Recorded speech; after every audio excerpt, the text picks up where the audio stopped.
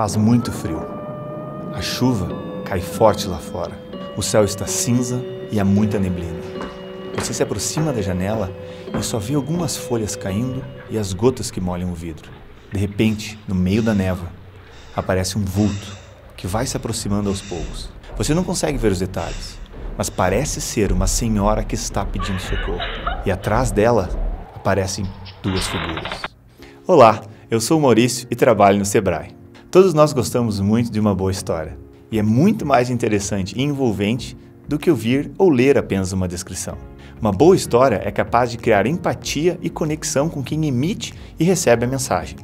E a explicação para essa preferência pelas histórias está em nosso cérebro.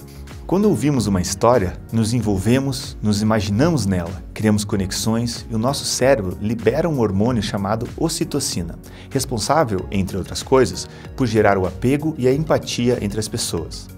Esse recurso milenar, utilizado por muitos povos antigos, tem sido cada vez mais aplicado por pessoas e empresas que querem passar uma mensagem de uma maneira mais humana e mais eficiente. Vamos dar algumas dicas para você utilizar o storytelling na sua comunicação com o seu cliente.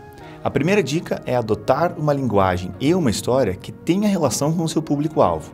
Lembre-se das personas e dos seus arquétipos.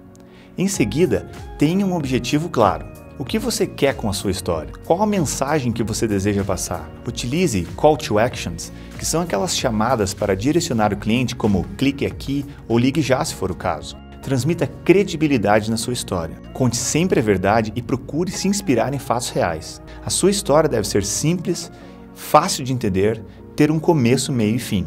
Use o storytelling a favor da sua empresa. Obrigado e nos vemos por aí.